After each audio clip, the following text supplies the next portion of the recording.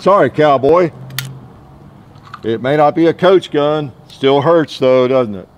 Yeah, Hickok 45 here, taking it out on the cowboy right away with this fine old L.C. Smith shotgun. If you're not familiar with L.C. Smith, if you've never even heard that name, where have you been? Well, we'll give you a little information about L.C. Smith and why it's such a prestigious name uh, before you leave today. How's that? Is that a beautiful firearm or what? Look at that custom stock, 32 inch barrel. This would probably be one of the last firearms, I would guess, that gets banned.